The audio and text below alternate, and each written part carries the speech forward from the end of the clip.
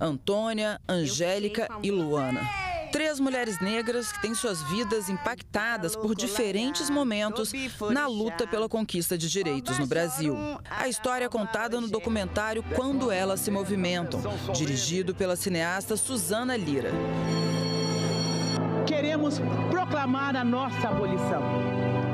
Não é ódio, nem rancor, apenas um grito de liberdade.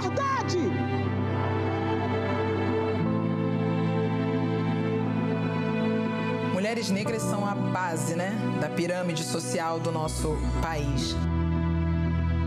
O título do filme vem de uma frase que a filósofa e ativista política Angela Davis tem dito e salientado em diversas ocasiões nos últimos anos. De acordo com a norte-americana, quando a mulher negra se movimenta, toda a estrutura da sociedade se movimenta com ela. As universidades deverão. Será que pode pedir um pouco de silêncio que eu tô.